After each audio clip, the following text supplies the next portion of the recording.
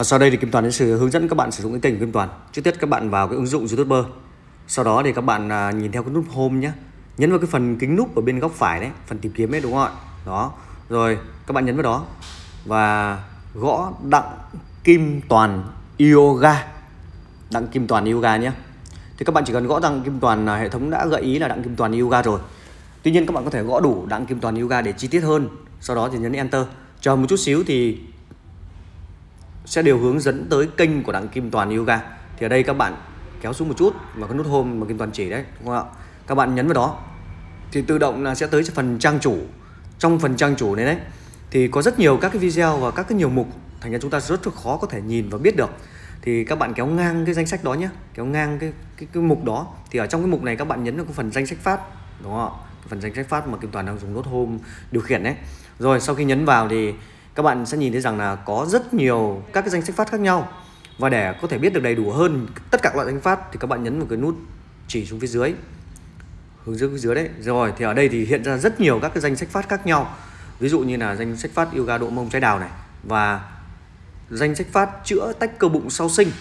Mỗi một danh sách phát là một nhu cầu của chúng ta thì ở đây ai có nhu cầu gì thì các bạn tập trung vào nhu cầu đó. Ví dụ các bạn muốn tập huấn luyện viên cá nhân một một hay là chuyên đề về vặn xoắn, các chuyên môn của yoga, định tuyến yoga, hoặc là các bạn kéo xuống phía dưới nữa. Thì ở đây có các cái chuỗi bài tập chữa suy cơ tạng, giãn tĩnh mạch, các bài chữa bệnh gút không dùng thuốc, các bài chữa loãng xương ở phụ nữ, và các bài chữa bệnh trĩ mà không dùng tới thuốc. Thì đó là các cái các cái phương pháp, giải pháp mà chữa bệnh dưỡng sinh của yoga của yoga nhé ngoài ra các bạn có thể lại tiếp tục quay lại cái phần menu mục đấy phần mà Kim Toàn đang dùng nút home hướng dẫn đấy các bạn nhấn vào phần trang chủ.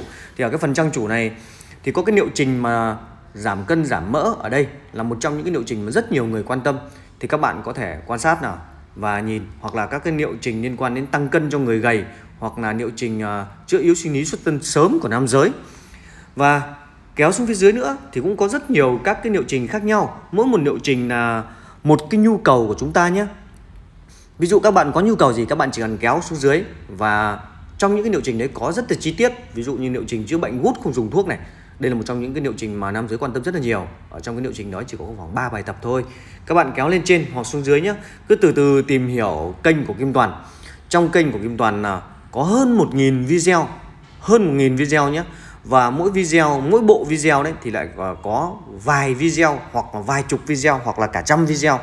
Thì trong những cái video đó có tất cả những cái nhu cầu mà hầu hết mọi người đều quan tâm à, liên quan đến chữa bệnh dưỡng sinh, giảm cân, tăng cân hoặc là sinh lý hoặc là chữa bệnh sa tử cung ở nữ giới. Có rất nhiều nhé các bạn chỉ cần từ từ tìm hiểu. Và cảm ơn các bạn rất là nhiều. Hẹn gặp lại các bạn ở những cái video hữu ích của những lần tiếp theo.